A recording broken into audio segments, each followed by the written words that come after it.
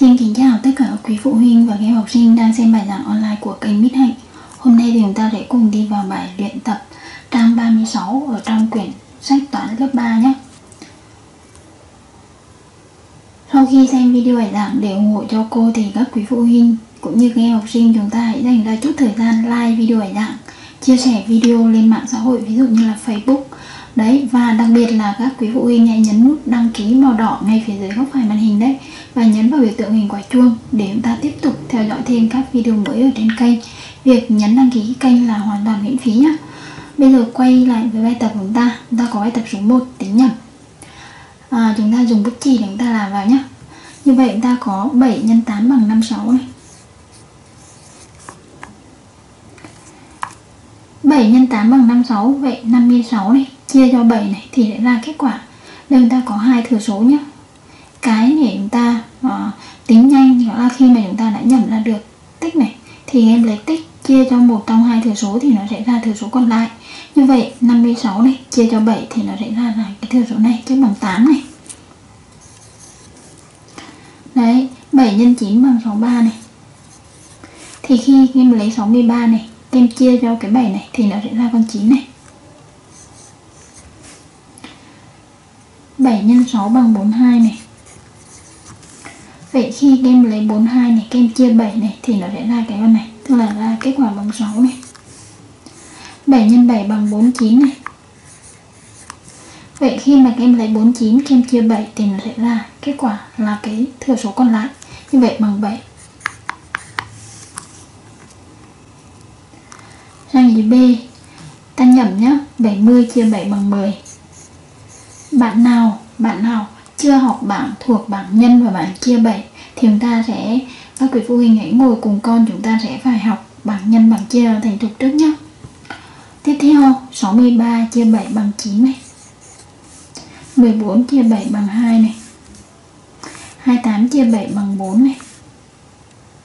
42 chia cho 7 42 chia 6 thì bằng 7 này. 42 chia 7 bằng 6 này. 30 chia 6 bằng 5 này. 35 chia cho 5 thì bằng 7 này.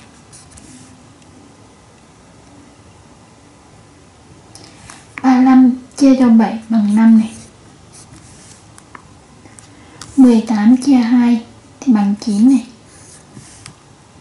27 chia 3 cũng bằng 9 này. 6 chia 7 bằng 8 này. Vậy chúng ta vừa hoàn thành xong được bài tập số 1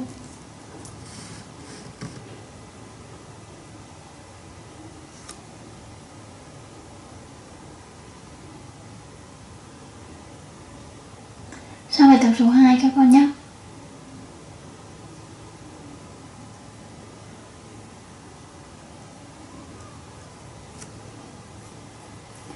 Bài tập số 2 cô cũng vẽ dùng bút chì nhé Cô viết vào đây. 2 không chia được 7 Cô lấy hai chữ số cô chia. Chữ số đầu tiên không chia được Các em lấy hai chữ số các em chia. 28 chia 7 thì bằng bằng 4 này. Các em nhân ngược lên 4 x 7 bằng 28 Các em viết ngay dưới số 28 ở phía trên này. Vậy chúng ta có 28 trừ đi 28 sẽ kết quả bằng 0 này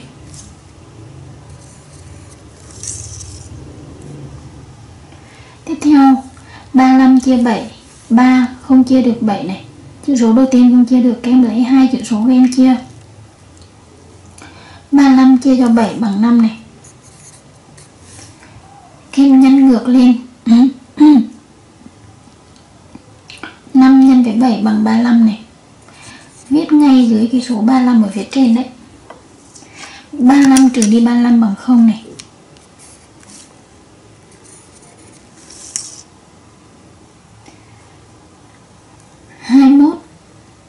Chữ số 2 cho 7 Các lấy hai chữ số là 21 chia 7 21 chia 7 bằng 3 Kem nhân ngược lên 3 nhân 7 bằng 21 này. 21 trừ đi 21 bằng 0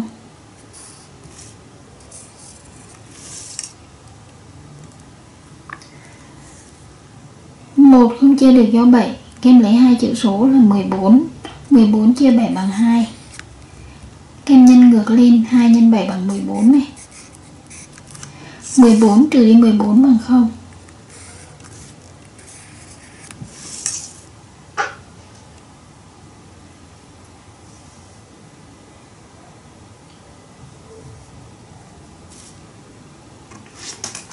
Tiếp theo 42 4 không chia được cho 7 Các con lấy hai chữ số 42 chia 7 bằng 6 Nhân ngược lên 6 x 7 42 này.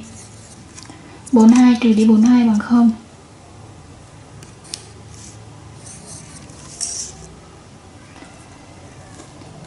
Tương tự 42 chia cho 6 4 không chia được 6 Kem lấy hai chữ số. 42 chia 6 bằng 7 Nhân ngược lên 7 x 6 bằng 42 42 trừ đi 42 bằng 0 Như vậy, kết quả của phép chia 42 chia 6 thì sẽ bằng 7 Tiếp theo 25 chia 5 2 không chia được cho 5 cách con lấy hai chữ số là số 25 cách con chia. 25 chia 5 bằng 5 Nhân ngược lên 5 x 5 bằng 25 Viết ngay cái dưới cái chữ số 25 ở phía trên đấy. Viết ngay. Chữ số 5 này thẳng, hàng với chữ số 5 này, thẳng cột này. 2 thẳng cột với chữ số 2 25 trừ đi 25 bằng 0 Như vậy, kết quả của phép chia 25 chia 5 sẽ bằng 5 Cuối cùng 49 chia cho cho 7 4 không chia được 7 các con lấy hai chữ số. 49 chia 7 thì bằng 7 nhân ngược lên 7 x 7 bằng 49 49 trừ đi 49 bằng 0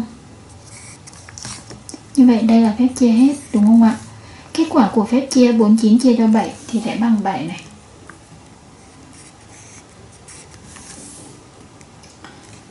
Như thế là chúng ta đã vừa đi xong được hai bài tập đầu tiên.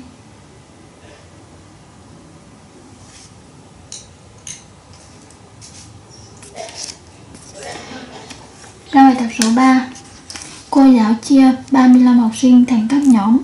Mỗi nhóm có 7 học sinh. Hỏi chia được bao nhiêu nhóm?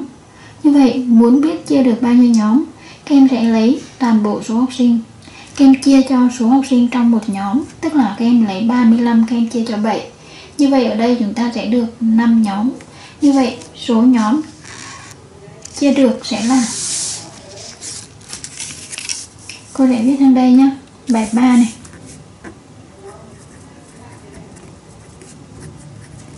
bài 3 trang 36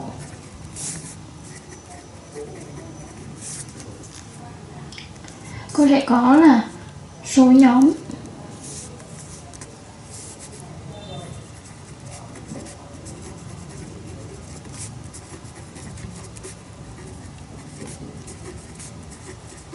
Muốn tìm số nhóm học sinh, các em lấy tổng số học sinh là 35.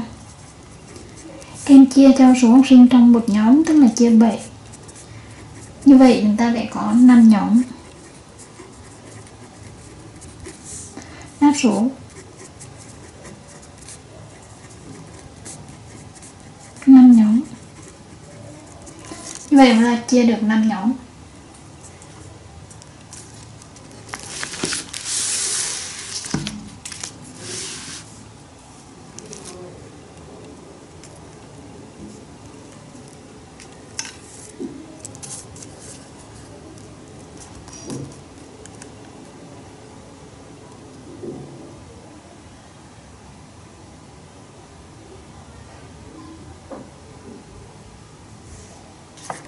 sang bài tập sang bài tập cuối cùng là tập số 4 các em nhé. Bài tập số 4 tìm 1 phần 7 số con mèo trong mỗi hình sau. Như vậy muốn tìm 1 phần 7 thì à, các em sẽ lấy tổng số mèo trong mỗi hình này này. Các em chia cho 7 ra chúng ta lấy một phần đúng không ạ?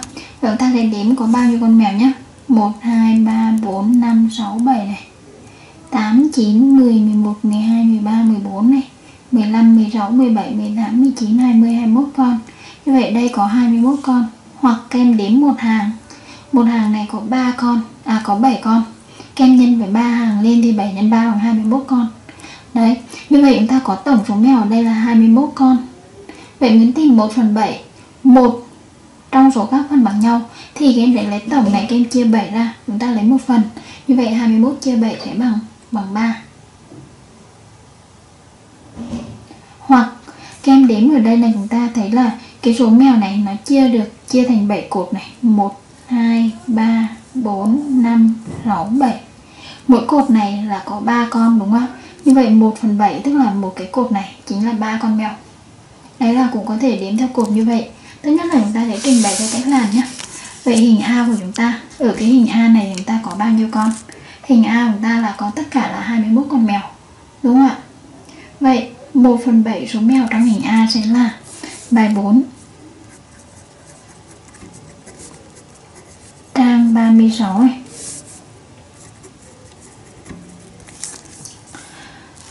cái hình A của ta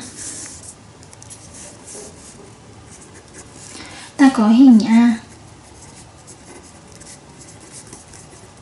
Có tất cả 21 con mèo.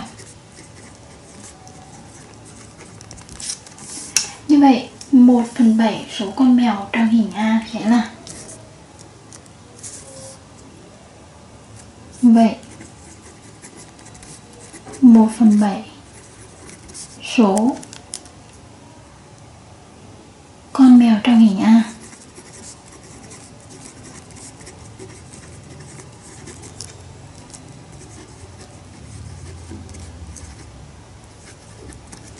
như vậy muốn tìm 1 phần 7 thì các em sẽ lấy tổng số mèo là 21 con. Các em chia cho 7 ra, đúng không ạ? Vậy nó sẽ bằng 21 các em chia 7 như vậy 1 phần 7 thì nó sẽ có 3 con mèo.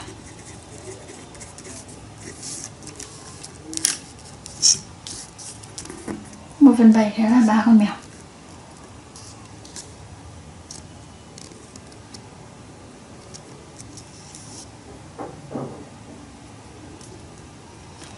Sang ý mê.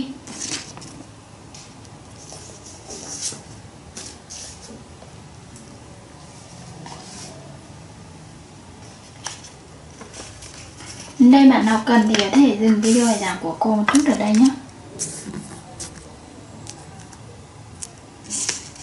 Này, cô đẩy lên cô này mình bê đấy cũng được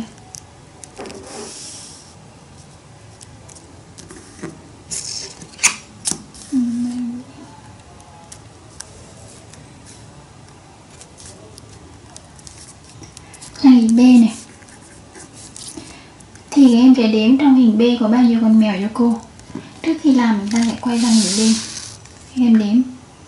1 2 3 4 5 6 7 8 9 10 11 12 13 14 như vậy chúng ta có tất cả 14 con mèo, đúng không ạ? Hình B có tất cả 14 con mèo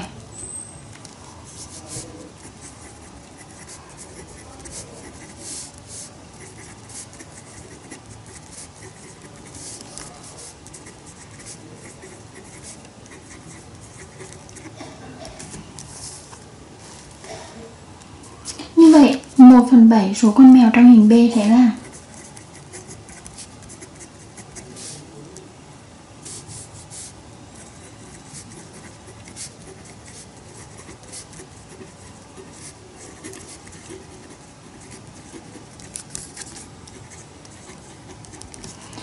Muốn tìm 1 phần 7 thì các em lấy tổng số mèo này các em chia cho 7 phần ra.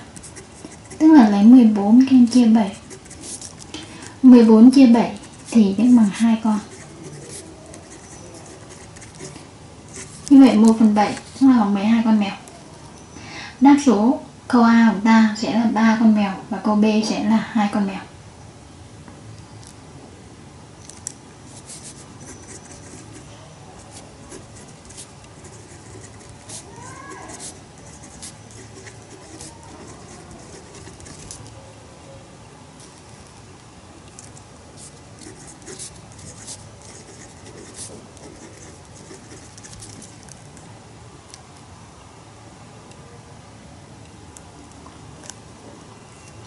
Như vậy, trên đây cô và các em đã vừa hoàn thành xong được toàn bộ các cái bài tập ở trong sách giáo khoa toán lớp 3, trang 36 bài luyện tập. Bạn nào nào chưa đăng ký kênh thì chúng ta hãy nhấn nút đăng ký cho em nhé để chúng ta tiếp tục theo dõi các video mới ở trên kênh Cảm ơn tất cả các quý phụ huynh và các em học sinh đã dành thời gian theo dõi video bài giảng. Hẹn gặp lại tất cả các quý phụ huynh và các em học sinh ở các video học tiếp theo.